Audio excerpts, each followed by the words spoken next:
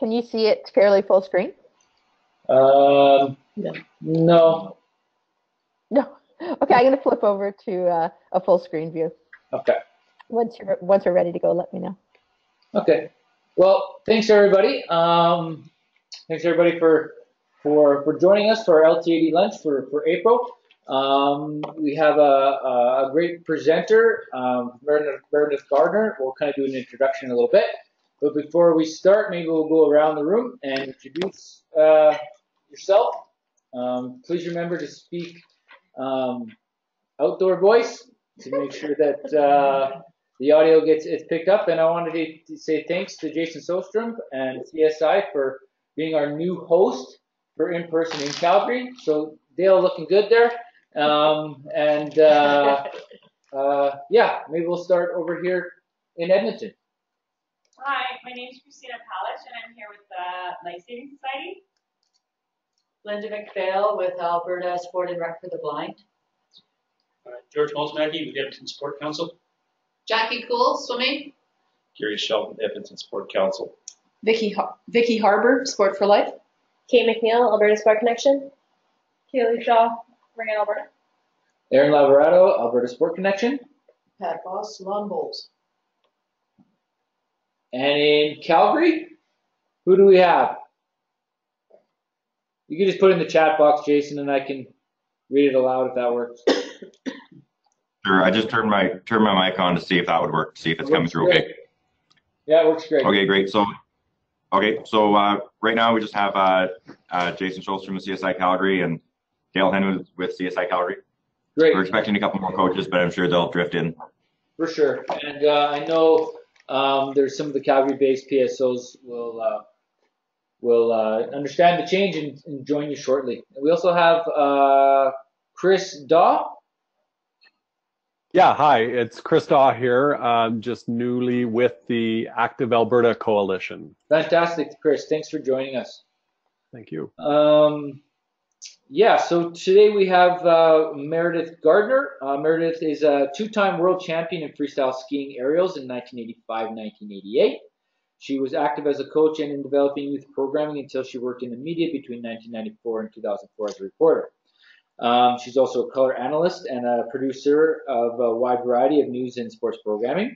Meredith returned to freestyle skiing in 2005 in rebuilding Freestyle Skiing Ontario, and for the past 10 years has worked as the sport development director for Freestyle Can- Canada, building out the long-term athlete pathway, including revamping uh, the coach athlete and officials and competition systems.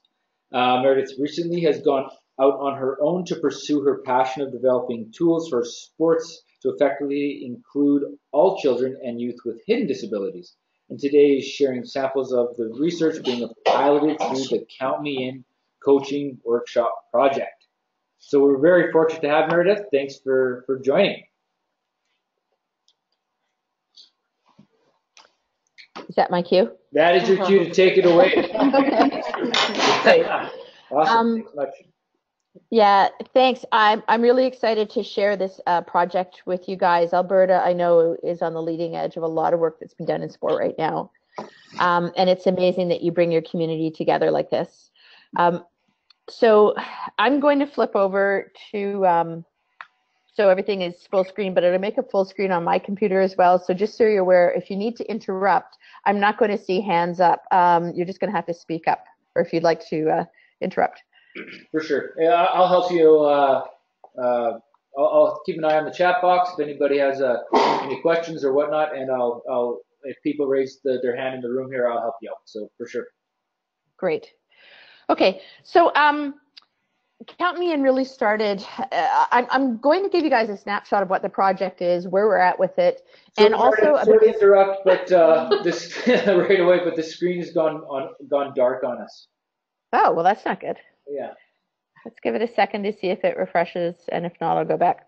Okay. No luck. Unfortunately. There it goes. Now we're good. Okay. All right. So I think what we're going to have to do is work with this um, this size. Uh, The question is, can you guys actually see the slides? More or less, it'll work. Or I can try this one. Yeah, What about that? it's Better? um, no, that cuts in and out. So if you go to the first one, I think we'll just work with that. Okay, great. Meredith, can you zoom All in right. just Um, yeah, I can next to the, slide the slide bar at the bottom from 62% to maybe 80% or something? See, I needed Sure. some coaching. Yeah, even a little bit more. Yeah, How's that'd be good. Yeah, a little more wouldn't hurt. The director of coaching at CSI saves the day. Yeah, there you go. That's Don't get that's real reading it. that's real clear there. Yeah. Is it clear? Yep. Okay, great. Um, okay, thanks, Jason. So, uh, really, uh, probably, I'm going to give you the background of how I got involved in this. Um, uh, I come to sport uh, through a path where I was actually um, a camp counselor, a high performance athlete, ran a lot of programs for kids, uh, and probably, you know, not through any kind of teaching or psychological background, just always been very passionate about the inclusion of children in sport and um, the inclusion, you know, and programming for kids. Uh, when I came back from being a high performance, or sorry, from being a journalist, and I got back involved in sport and freestyle Ontario, one of the things that I really noticed when I went out on the ground, uh, and I was a volunteer at that point with the programming, was that there was a serious issue around leadership. That um, quite simply, the coaches didn't know how to lead programming for children, which is a much more difficult adventure than most people realize. And, and I think that often in sport, we really minimize the expertise that's required to actually run quality programming for kids. Um, and basically, when I became a sport development person, I knew something about the sport. I had a warm pulse, and I was willing to work for peanuts. And that's what was required to be an expert in sport development at the time um, within a, a PSO. Um, and, and I don't mean to minimize the work that people do, but I, I think we recognize that uh, sport development is still a fairly unknown field um, in terms of our, our amateur sport organizations. Um, so I then became, uh, after working in sport for five years, I became a parent, and I became a parent of a child with autism, uh, high functioning autism, which you know is a real uh, challenge with social skills, and quickly realized how our sport system not only does not generally have strong leadership training uh, for managing programs with youth, but there's almost no training for managing programs with youth who struggle to be included. Um, and the scope of this issue, which I wanted to talk to you guys about, um, right now, essentially, we have these incredible adaptive uh, and competitive and recreational sport worlds, Special O, all kinds of different organizations um, that deliver to a clientele who is is specifically adaptive, and then we have our competitive and recreational sport worlds. Um, most kids who I would say have what we'll call hidden disabilities, so ADD, ODD, autism, uh, attentional issues, these kids don't belong in the adaptive and competitive sport world, but they don't fit very well into our mainstream world. Uh, if you look at the population of kids, if it's one in five kids, which are estimated kids who fall into the realm of hidden disabilities, um, that's 1.6 million Canadian children. And the scope of it, uh, in some recent research that's been reported by Huffington Post, they say there is at least a recorded 850,000 uh, Canadian children who uh, severely struggle with cognitive, social, emotional issues to the point where um, you know their lives and their families' lives are, are, fairly severely impacted. And we know that most of these kids do not fit well into the competitive recreational sport world, and mostly because uh, we're not set up for it, and our coaches, most coaches, again, I'm just gonna say most because coaches who've had been teachers and had training or happen to be particularly empathetic often can include, um, but that's uh, you know still a small percentage percentage of our coaches. Um, so what happened was as I went to Sport for Life conferences and I went to meetings like um, I was at a great high five meeting where they're talking about their mental health module and, and LJ Bartle asked the question, what do you do with uh, with kids who have ADD in your programs? And and somebody from one of the NSOs put up their hand and very honestly said they get cut from the team. And you know, I was at the moment I was like, oh, we got to do something about this. And there were a couple other people in the room who were really feeling the same way. So started the idea of count me in of, of going, what do we do in sport? How do we stop the exclusion of of kids who have mental, uh, social, cognitive, emotional challenges from sport? Um, and we were able to go out and formulate the idea. One of five uh, key principles was to create a coaching product. Um, the working title is Count Me In, just so you're aware, it is not being a trademarked or licensed title yet.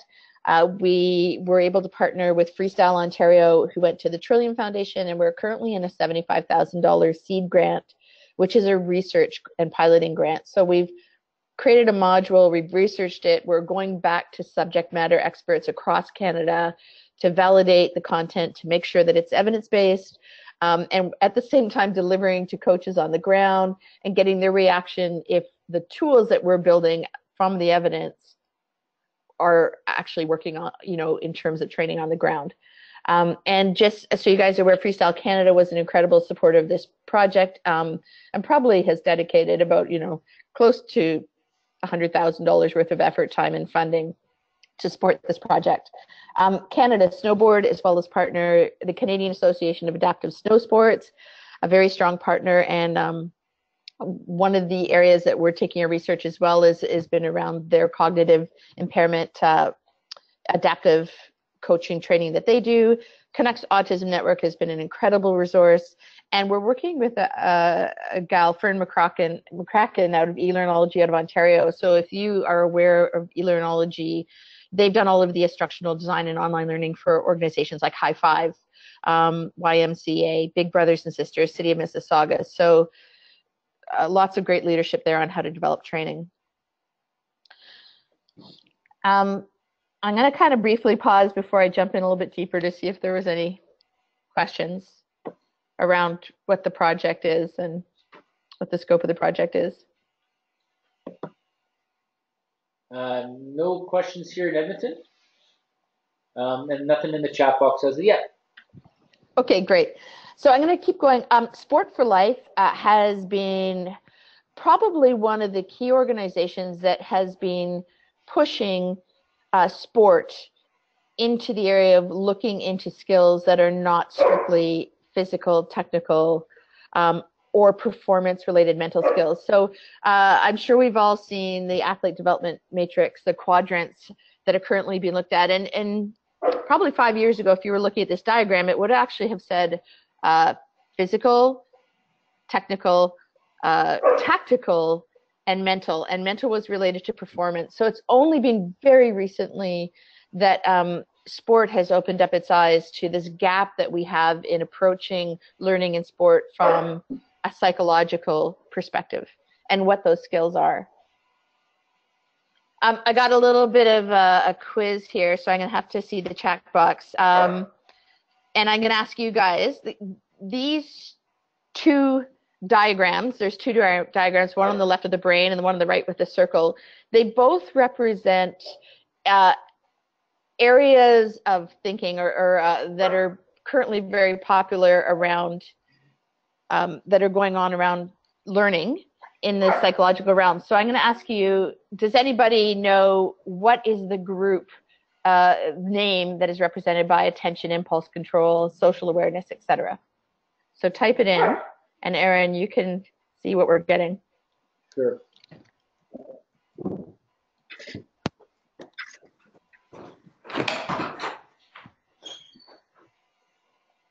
For each of them, or you just want just that group, the attention, impulse, control, task initiation group? Yeah, on the left. What does this represent? What is this group of things? So Dr. Harber says executive functions. That's kind of cheating. She just did a whole presentation on it. I was gonna say Vicky can't answer.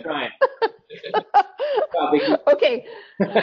My opportunity to uh, in, reinforce things, Meredith. Yeah. Go for it. All right. So, other than Vicky, this group on the right self management, self awareness, responsible decision making, uh, relationship skills, social awareness what is this referred to? Anybody? I'm going to give you a big hint. It's in the middle. Social and emotional learning. SEL. Okay, so I'm going to ask for a bit of a show of hands. Uh, have you got the hands there? Um, uh, we don't have that. That's for the go-to webinar. We just have. This is just go-to meeting. Okay. Have the raise the hands thing. So, well, Okay. sorry. So please, um, maybe you guys are in the room. Have you guys, are you familiar with these concepts of executive functions or social emotional learning? Uh, Probably. half hands are kind of raised. They're kind of aware, not fully aware. Except for Vicky. Yeah. So, um, social emotional learning is is a huge driving factor in education right now, um, and you know, as education is realized, as it's pushed towards inclusion, that they cannot have effective learning for individuals simply by setting out lists of outcomes and things that people have to learn. Uh, if you know, if you can't understand the learner and how they learn and and the social, emotional, and cognitive factors that they're taking the information and using it on, um, essentially they're going to fail at inclusion and, and fail at learning. And uh, one of the really interesting facts, um, Justine Simmons is a gal who uh, built all the original research for us. She did an incredible job, and she's actually a former um, mogul skier with our national team who became a mom who went off to do a lot of interesting things and has recently decided uh, to do an education degree. So we took advantage of the fact that she was getting all the most recent research in BC, access to it, and how to do the research for Count Me In. And she said there's a, there's a huge switch that has just happened in BC. They used to say that if 75% of your class had 75% of the information, uh, then you could move forward with your learning. That that's when you move forward. So at some point, somebody finally clicked in, or they clicked in and said, "Well, we're consistently leaving 25% of the kids behind, and that's not okay." Right. So this is the shift around inclusion: is to actually say, who are we consistently leaving behind and why? And this is where we're starting to understand the critical importance of what the uh, what the experience of the learner is that's driving them to leave. And we've really anchored in the Count Me In project to Dr. Ross Greene's philosophy. You know, you guys can read this. Kids do the best with the skills they've got. Um, Ross Greene has written uh, probably one of his most famous book is called The Explosive Child. And, and it's like, why are kids exhibiting this challenging behavior? So when they don't have the skills to participate, they adaptively respond through explosive behavior often. Maybe not always, but sometimes. Um, I think the really important thing that Ross Greene says that applies to sport is that kids and, and youth, people in general, but we're, you know, our focus is, is children and youth, is that they want to be in the program. They want to please adults. They want to be part of the group. You know, they they want to be part of the sport. That's why they're there. Um, and when they act out, it's really because they can't participate effectively. They don't have the skills, right? And um, we have a video. So, Aaron, why don't you try and see maybe if you can Google this, and I'm going to see if it plays Okay. to start. All right, at the same time, let me know.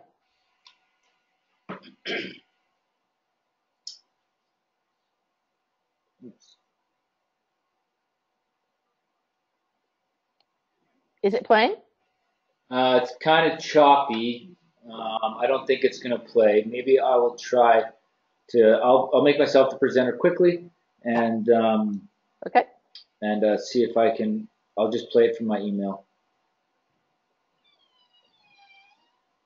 Um, so why don't you guys there in the room tell me what can you see? I took it away from you. Sorry. Okay. Second. Let me try to play it from my email and then. Um,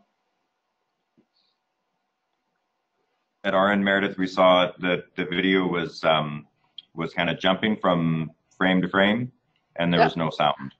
Okay. All right, Aaron, give it a try. Okay.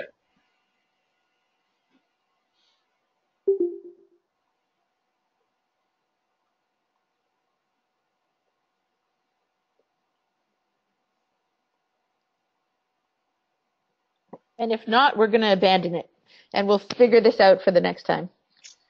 Link's Video is always. The link's not coming up. Okay. I'm, I'm just going to describe it to you guys. So, um, and you can give me presenter status back. You bet. Then, Aaron.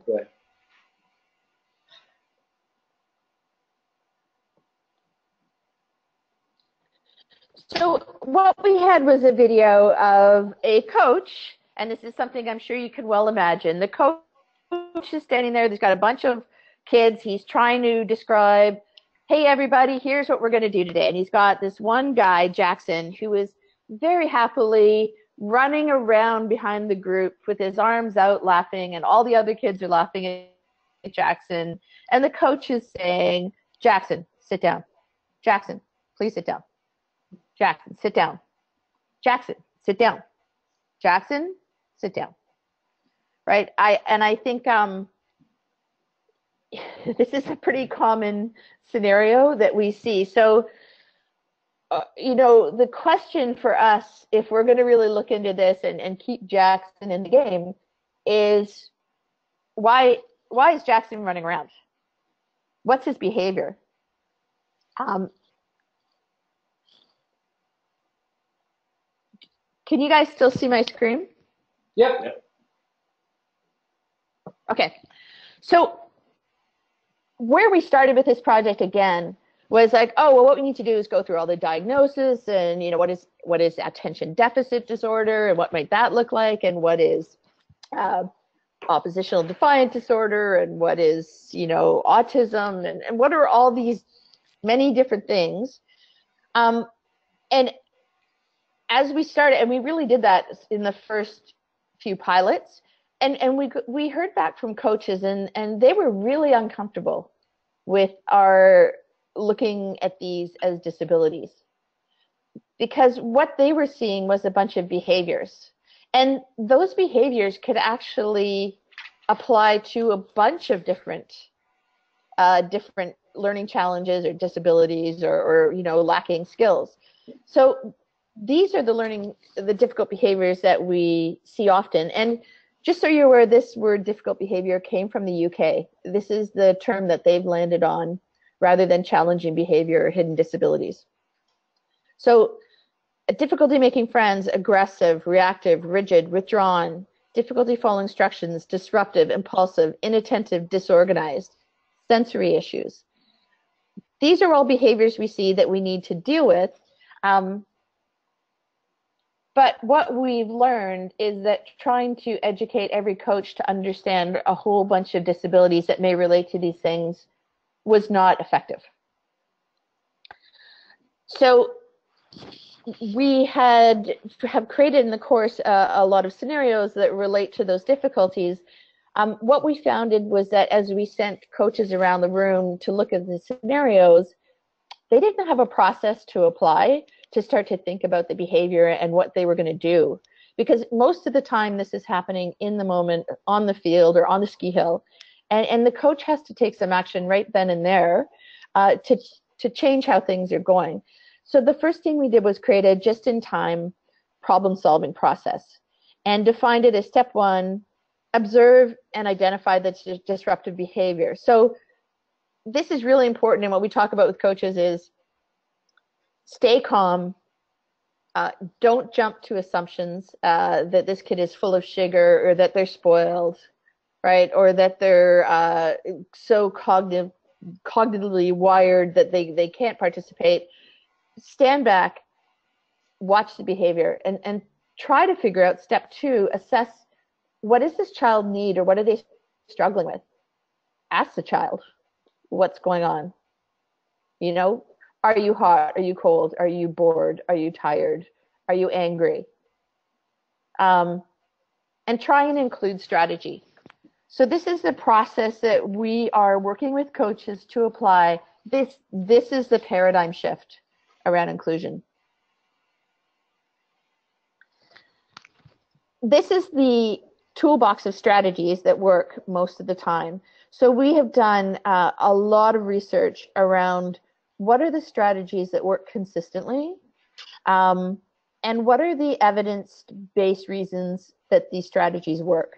So this we created this include acronym, and and just so you're aware, even now we are we are reformatting this. Um, we thought this was a great way to include acronym, but it's it's too long, and our piloting people have said it's just not sticky enough because it's too big of an acronym. So uh, this is this is a kind of very detailed work we're doing right now in in terms of creating education.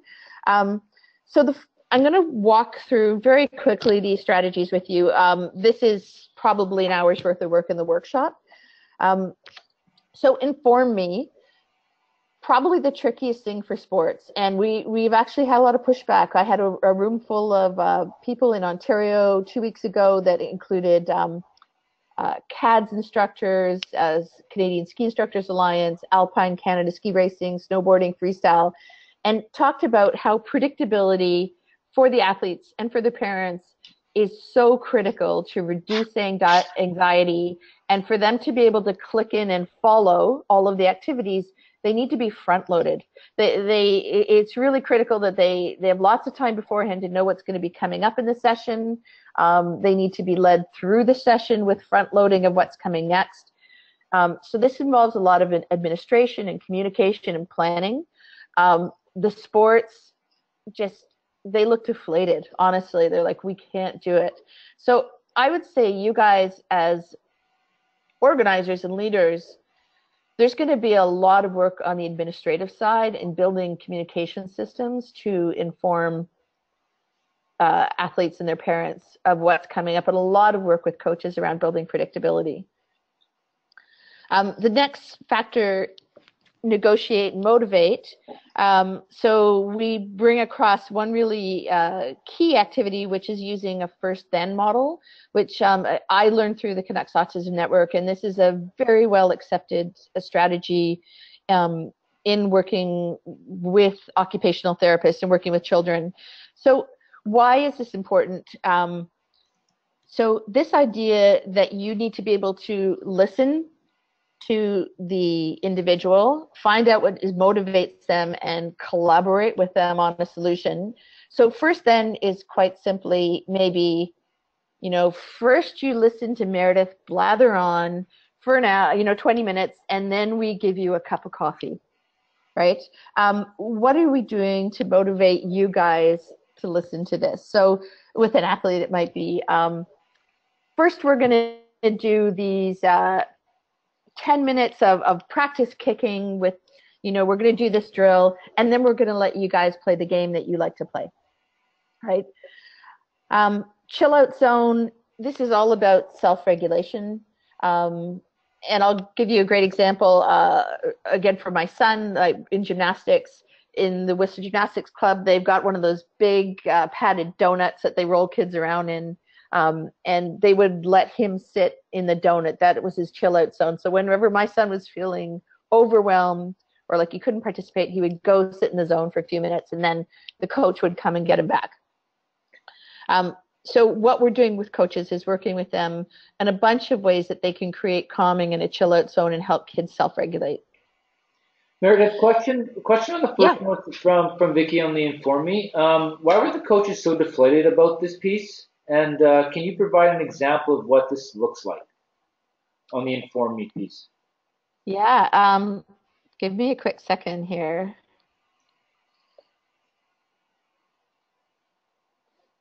I'm going to show you, actually. I think that's the easiest way. This is our uh, version 5 for the workshop presentation.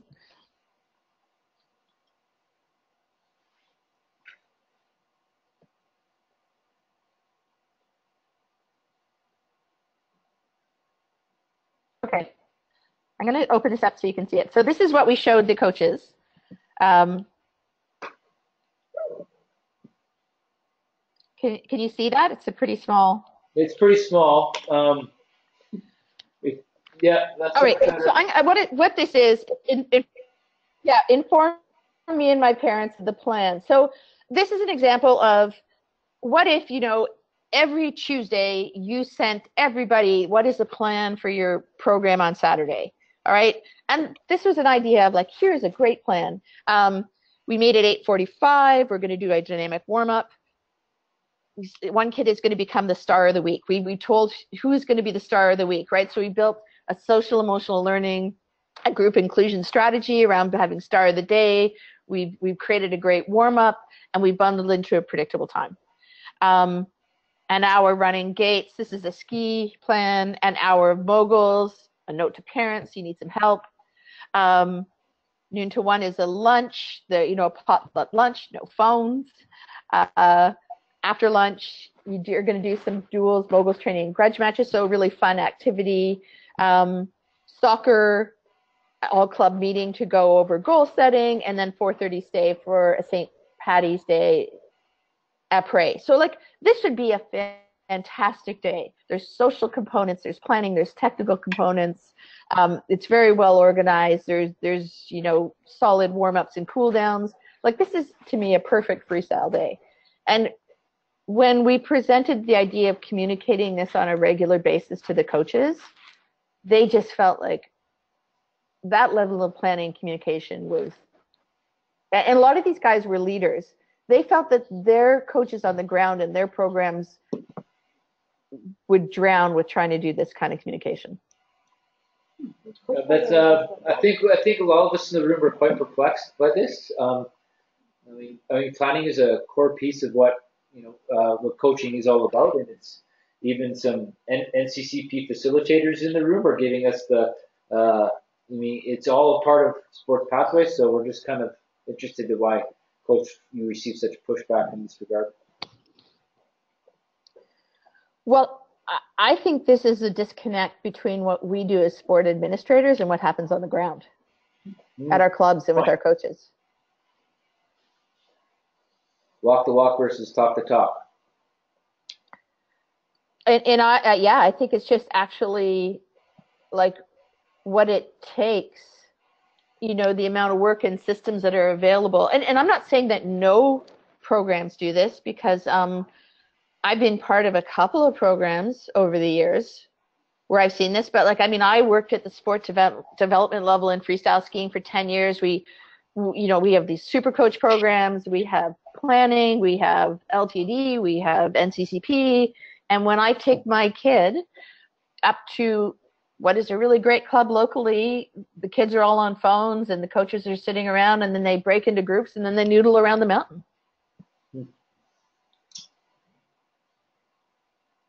Yeah. So okay. this is this is a, a huge task. Yeah. So that that's really so what happens in the disconnect though is that the kids who need this level of structure and most kids need structure but the kids who really need this level of structure to be able to participate they get lost.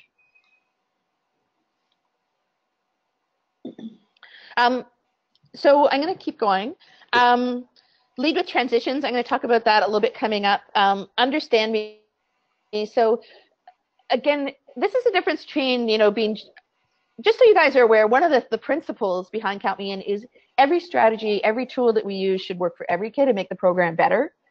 But we will point out tools that are critical um, for uh, athletes who fall into that hidden disability bracket. So this understand me bucket, um, very specifically with autism, uh, people with autism perseverate on one thing. I mean, that is one of the three hallmarks of autism. There are lots of kids who perseverate, but kids with autism, that is one of the key things to be diagnosed that they do. Um, so in your program, if you're not able to work around, work with, and uh, integrate what their key area of focus is, if you try to ignore that because it's obnoxious and you know you're sick of hearing about video games or cats or robots or whatever it is that they obsess about, um, your chances of of reaching that child and including them effectively are quite small. So um, theme days that build a theme around what a child with autism uh, perseverates on are a critical tool for including the and there's lots of high functioning kids with autism that can participate in mainstream sport so this is where we're taking an idea about rapport and perseverance that are you know those are the um, the the proven concepts and the evidence uh, behind it and we're, we're putting into activities that work for coaches. But we're also highlighting for them, you know, there are going to be some kids that you have to treat a bit differently. So um, demo visually, this is an area where uh, this really relates a lot to sensory processing. Uh, we still have, as we're doing right now, I'm doing everything wrong. I'm talking at you and uh, showing you a slide with lots of visuals, right? So we still spend a lot of time trying to verbally communicate or communicate in writing with lists to people. And um, despite the fact that we know that that's not how people through their senses process information. Um, with sensory processing, we also try to give coaches a good idea of how if somebody has highs or lows, uh, if they're hypo or hyper with their sensory processing um, through the seven senses, you know that that can really impact their learning, and it's something that coaches need to be able to look for. The, the last major piece that we work around is encourage inclusion, um, building trust and acceptance. We started this as the idea of building friendships, and it was clearly pointed out to us that we cannot force kids to be friends with other friends, but we can create leadership strategies that build trust and acceptance within the group. And you know, I think again, Vicki will speak to um, acceptance is a critical pillar of performance, right? So acceptance, performance, and effort are those three pillars of performance, the cycle of performance, and acceptance um, is critical for all athletes, but especially critical for girls. So if we can if we can really train our coaches on the ground to do a better job of building acceptance we can do a better job with uh, retaining girls. We can do a better job with retaining athletes with hidden disabilities. Um, we can create build so much ground in this area but it's it's an area our coaches know very little about so um, we also have a, a, a tool and a piece on talking to parents so one of the things that's really critical is, especially for parents of, of kids with uh, hidden disabilities, uh, the parents are the ones that actually know the most about their kids and can give you that information. It's an extremely sensitive topic. Um, the research again reveals that it is more likely that if a parent reveals their diagnosis to a coach or to a teacher, uh, if the teacher doesn't know, that that child is actually going to be less successful. So there's quite a bit of research done around this. So parents are not motivated to disclose diagnoses, and even if they do disclose, most often the coach or the in this case will not know what to do with that diagnosis. So what we've done is create an action sheet which where the parent can share some strategies or information about their child with a coach that can be then be effectively integrated into a practice or a game plan. And this is a tool we're working on. We, we've just had a lot of feedback from it. We've revised it three times already, but we feel like we're getting very close. Um, how am I doing for time, Aaron? Uh, you have 20 minutes left. Um, we tried to save 10 minutes for, for questions or discussion. So kind of give okay. it 20, right. uh, 10 minutes. okay. Um, I'm going to keep yakking for a quick minute. One of the other things that uh, was a bit of a stop for us uh, in this project, it was um, when we talked to uh, a couple of, of, PhDs in this area, one out of Alberta and one out of Mac, uh, they both gave us the same piece of information that was very interesting. They said in all the work they've done, all the research they've done around trying to shift behaviors uh, with leaders to be more inclusive. They've had uh, they've struggled to have luck with people who didn't have empathy through their own experience. So the coaches that have had family members or children uh, that have had you know various disabilities have developed the empathy and the personal systems to sometimes or more of the time to manage those behaviors. Um, but it's very difficult to create that behavioral change in somebody who has not been exposed. So that has really uh, jigged us to really re-look at our methodology Um, I know Canucks Autism is is trying a tactic which has been quite successful for them over the last year, where they're doing train it and try it days. So instead of just going and give a workshop, they give a workshop in the morning and then they do a sport activity with a group of kids with autism, and they have those coaches put the strategies and the tools into practice.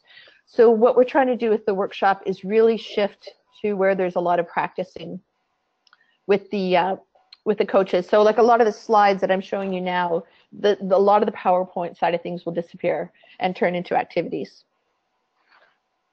Um, this is not a picture of me drowning. uh, this is a uh, what I wanted to talk about was sort of the philosophy of what we're trying to do with this workshop. And I'm just going to put it out there to anybody to answer. If anybody is involved with swimming and they know what the bob game is, and they can tell us what the bob game is if they've heard of the Bob game. Lots of different versions. I'm not sure which one you're thinking of. Like where you go underwater, blow out all your So air. who is that? up. It's Jackie with swimming. Yep. Hey Jackie. So so um yeah, it's exactly you're bobbing in the water and and how do you play the bob game? So go under the, take a breath, go under the water, blow out all your air, jump up, grab a breath. Any any way you can get the kids to get their head underwater, right? Critical critical transition to be able to swim that kids are afraid of. So um there was this amazing swimming coach that I saw, and uh, it's interesting because it turned out she actually had extensive leadership training and was doing an educational degree. And she was playing the Bob game, and she led a swim school. But the way they played it was they had a game where they just told a story, integrating the name Bob. So um, I have an Uncle Bob who has a pet alligator named Bob. Um, and has they he has a son named Bob. Well, Bob the son really liked to play with Bob the alligator, and one day somebody thought it'd be give them fun to give them Bob the cat. Unfortunately, Bob the alligator wanted to eat Bob the cat, and Bob the son got very upset. So, in telling this game with the kids, in the Bob game, the kids would bob their heads every time. They were highly engaged because it was a game. They were laughing, they were enjoying, they could let go of some of the fear. What we're looking for with coaches is what is what are what are the Bob games? What are the things that we can create uh, that will be social emotional learning uh, that will help with cognitive functions, um, that will help create self regulation?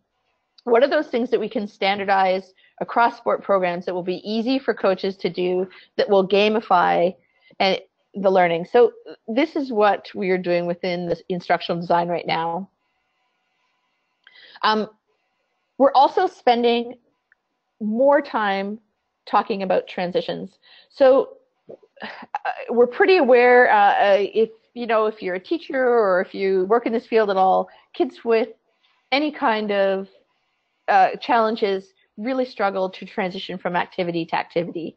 In um, Canucks Autism Network, they have introduced a transition where they very clearly will say, "Okay, everybody, we're going to stop." and sit down and listen in five, four, three, two, one. They practice it several times over.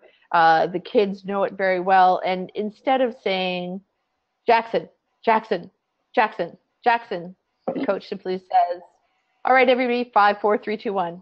It, it's unbelievably effective. So this is the kind of technique, again, we're trying to put across sport so that coaches have these tools and they're not left frustrated and assuming that the kid doesn't want to be there.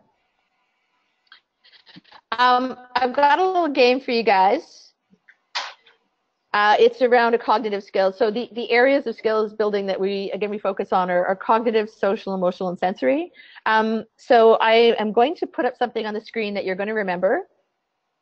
And I want you to hold these numbers in your memory. And then you're going to stand up, you're going to do jumping jacks, and you're going to sit back down in your chair and and write down in your chat box the numbers or on a piece of paper. So, is everyone ready? Ready. All right. Here we go. Pay attention. remember these numbers, write them in the chat box after doing 10 jumping jacks. The numbers are 24, 7, 18, 11, 2, 10, and 24.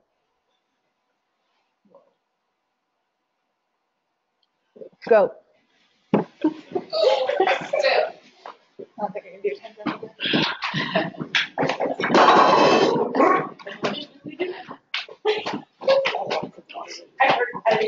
How long? How many? You keep going, but we're done.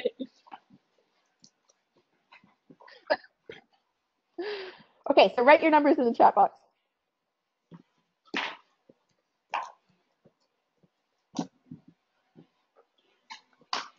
I can't see the chat box.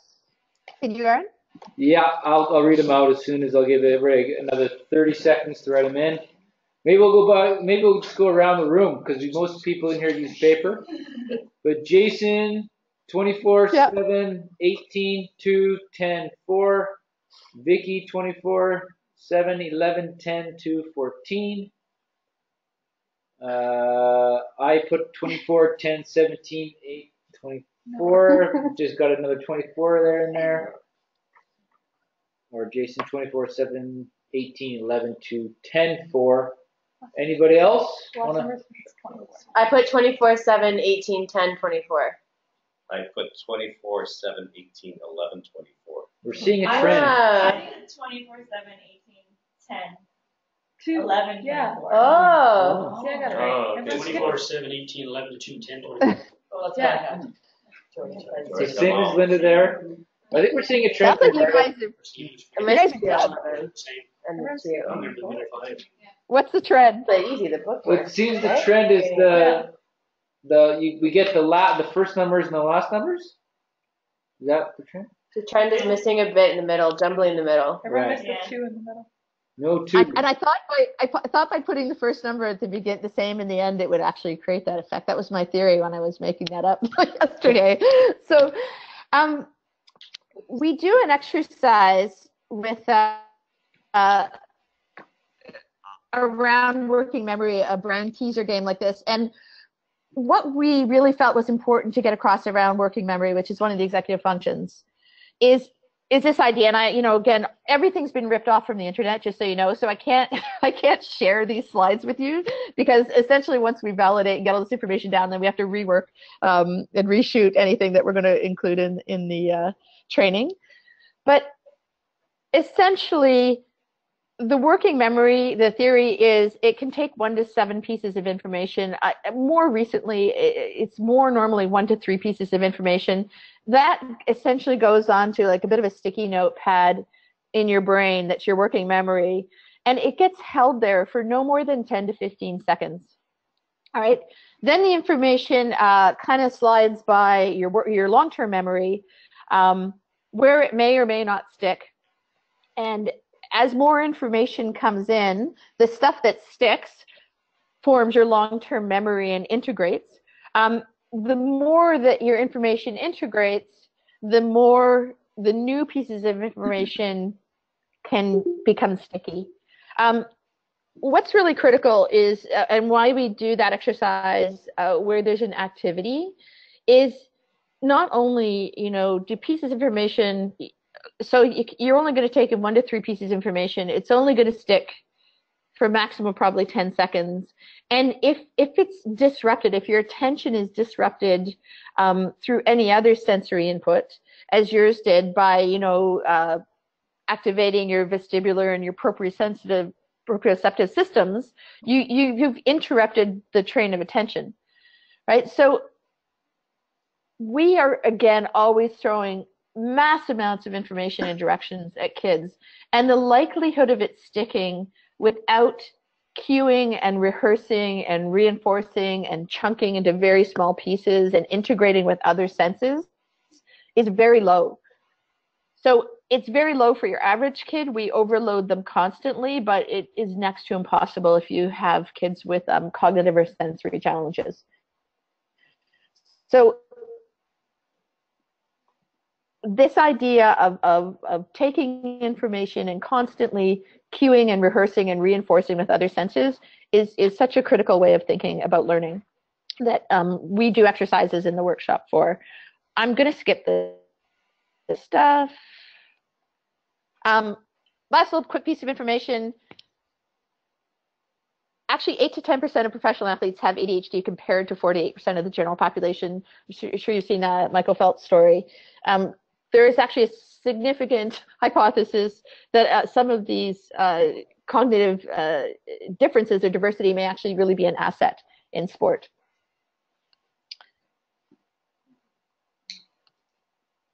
So um, I'm, I'm going to leave it there. We don't have much time. I just, um, we're going to be completing the research by June. Um, and then the goal is we're going to have an implementation plan in place and, and how we're moving forward. Uh, but our goal is certainly to make these materials available through web methods um, and uh, to build out live workshops through partners that, that will get delivered to sport.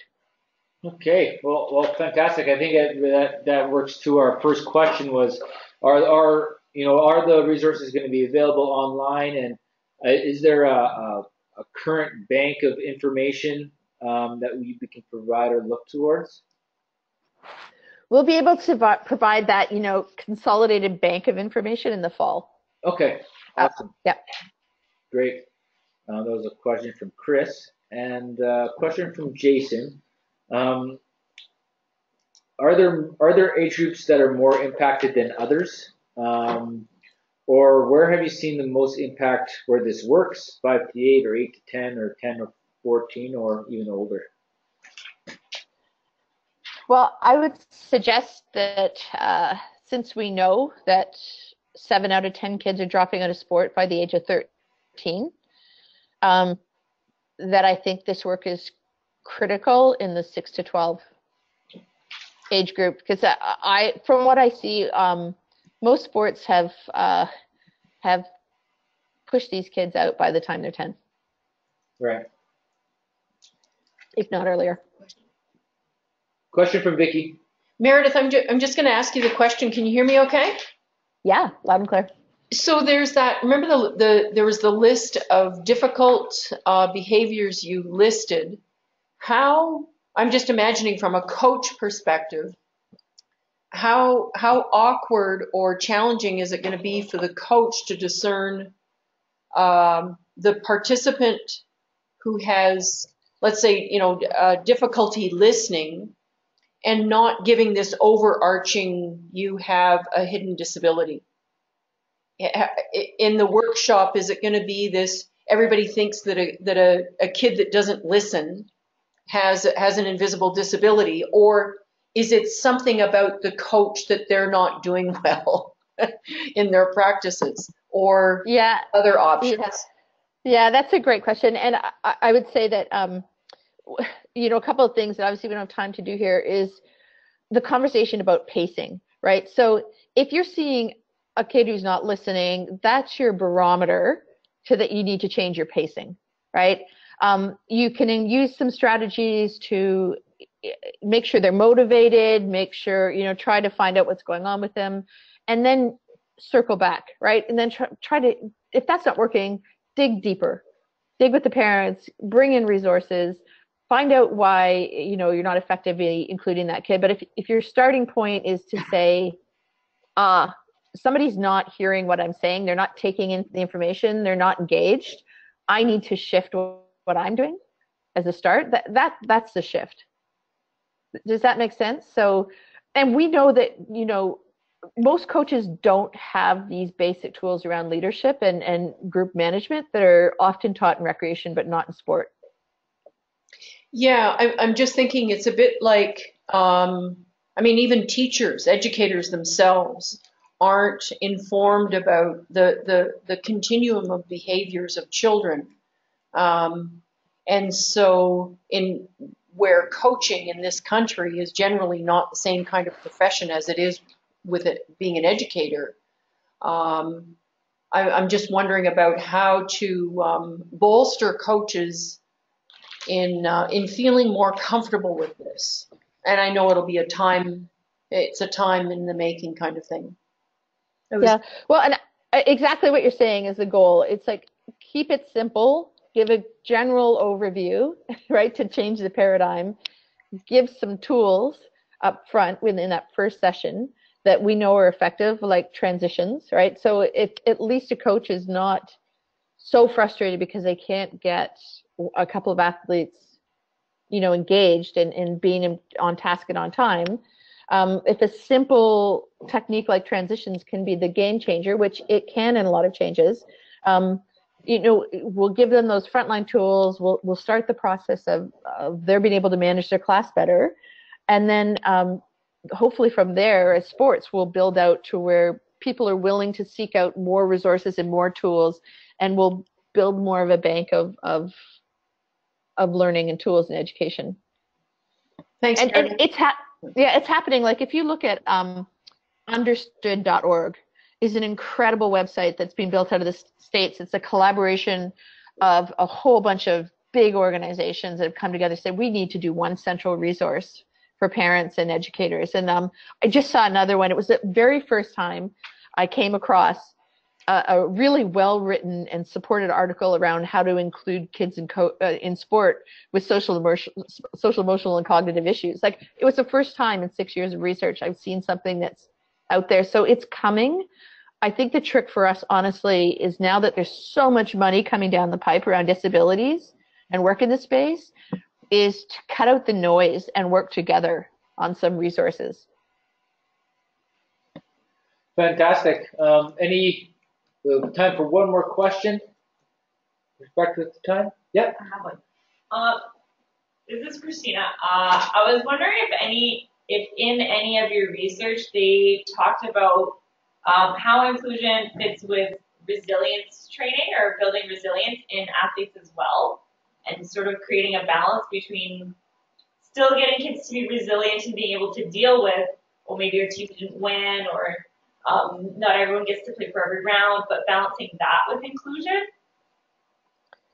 Yeah, I think that's a great point. And, you know, again, it, it's really tricky to communicate this, but it's, it, it, I think sometimes um, we tend to polarize, like toughen it out, and we we got to make them toughen it out. And um, but at some point, it's about finding that balance, right? So if you find a kid, for instance, um, that can't stand and listen for more than 10 seconds, and you know they need to be able to stand and listen for two minutes to participate in this program, how do you build their attentional skills and their ability to self-regulate to the point where they can get from 10 to two minutes?